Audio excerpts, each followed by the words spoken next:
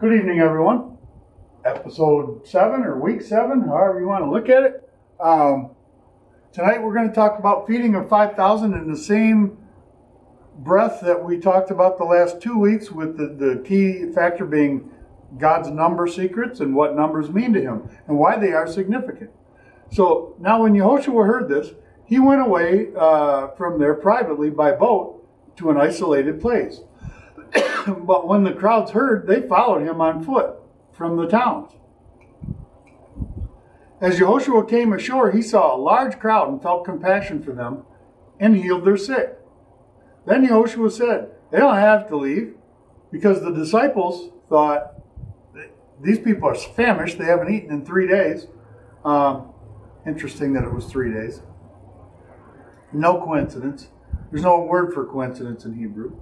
But then Yehoshua said to them, They don't need to leave. You give them something to eat. Well, the disciples think, We got nothing. I don't even have a fishing pole. I can't even catch one fish. We have nothing except five loaves and two fish. And we've talked about this before. Um, five loaves, that actually is, the, the word there in Greek represents almost a cracker, about that size. And the two fish, the only fish that they would have the, the majority of fish caught out of the, Gal- the Sea of Galilee, especially in that area, were sardines, minnows. So you got five crackers and two minnows. And Jesus says, feed them. The disciples are, you know, five, we're going to talk about that. Five is the number of grace in Hebrew. Two, unity. Look at the look at the Bible, the first two chapters in the Bible Heaven and earth are in perfect harmony, perfect unity.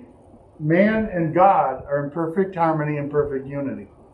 Um, there is no sin. There is nothing. It, it, heaven and earth, whatever is good in heaven is good on earth, and that's the way God intended it. The last two chapters of the Bible, Revelation 21 and 22, it, it's entering into eternity where heaven and earth are now again back in unity and harmony, and God and man are in unity and harmony.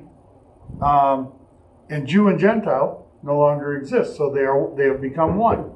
So if you look if you look at that, we um, uh, we we know that that God is saying that through that um, uh, we we have one purpose, and we have um, by grace and through unity that God is going to bring everything back together. And and then He says, "How many baskets did you pick up?" 12. And what is the number 12 in Hebrew? It is government.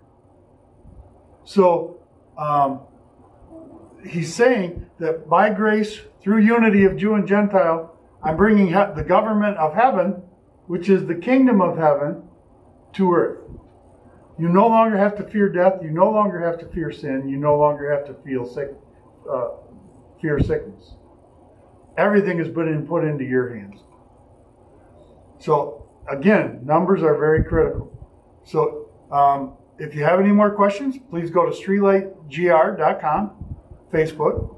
Um, and again, have a blessed day. I mean that sincerely. But even more importantly, be a blessing to others. Thank you for tuning in.